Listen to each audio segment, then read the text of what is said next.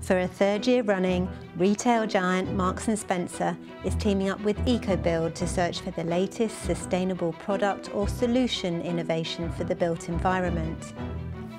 Out of dozens of competition entrants, only 12 get to pitch their ideas to a panel of M&S decision makers. My pitch is going to be a little bit out of the box. Whose innovation will excite the judges? We are set to revolutionise the industry. Whose idea will help Marks & Spencer's green credentials? And I'm going to talk to you today about the Arup's Hybrid Fan Coil Unit, which saves energy, saves money and saves space. And who will win a place in the live final of the 2017 big innovation pitch.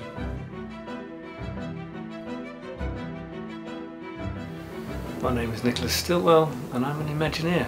So what do we do? Well, we take this stuff and we make a board. Essentially, you have a polymer skin and a polymer core. But if you want your cubicles, then you want this one. Mm -hmm. That's how we do it.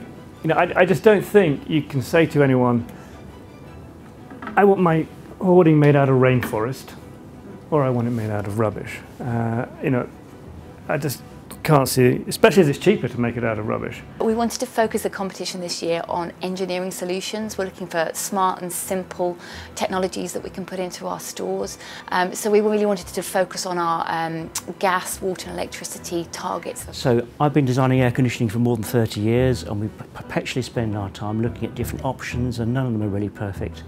and I just had this feeling that something could be done a bit better. Looking down from the top, you see there's a coil on three sides, and the fourth side is for all the other components like the control valve, the fan controls, the BMS, condensate pump, all the other bits and pieces on the on the fourth side there. I think it could be of huge benefit to Marks and Spencers if they roll this out across their estate. They could save 10 or 15% off their energy bills, I think. For retailers, particularly with the competition we've got in the high street, we always have to save money um, and find new ways of doing things.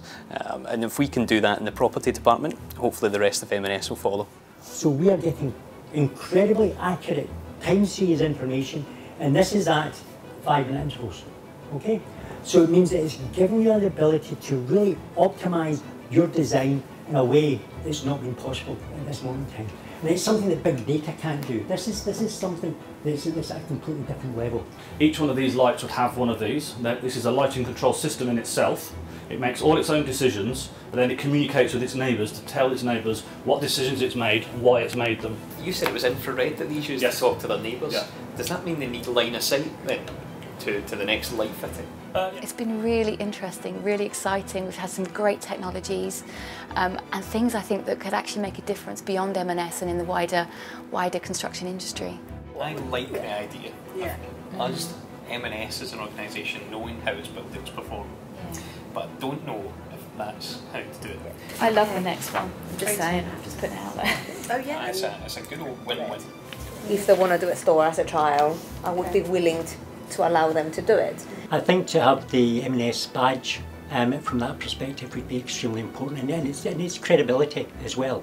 We can say Marks and Spencer's, doing this in Marks and Spencer's store, no matter where we are in the world, that would resonate. I'm a big fan of Marks and Spencer's and that's I'm really proud of this product.